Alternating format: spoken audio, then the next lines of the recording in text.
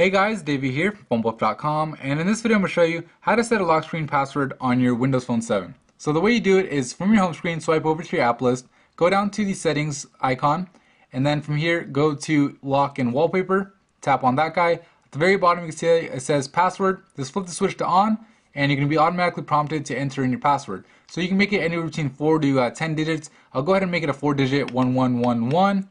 Go to confirm password enter in the same password you set above, hit done at the bottom left right here, and there you go, I've set the password. You can also see at the bottom it says require a password after, and it says each time. I can switch that to 30 seconds, one minute, basically how often uh, it'll automatically lock. Right now it says each time, so basically each time I actually turn off my screen, it's gonna automatically lock. So I'll go ahead and hit back and demonstrate this for you guys. So hit back, lock it, unlock it, you can see it's my normal lock screen. I swipe up to unlock and it says enter in your password. So there's no way around it. I have to enter in my password and there you go. Of course I could set it to be uh, 30 seconds. So right now if I lock it, so I'll press the button, press it again, and you can see that it didn't actually lock it. If I actually let it go for 30 seconds, then it'll en enable the uh, password. But that's pretty much it for me in this video. It's Dave from phonebuff.com. Thank you for watching it. If you found it helpful, please hit the like button and subscribe. And don't forget to visit phonebuff.com for more cell phone news, reviews, and how-tos. Thank you.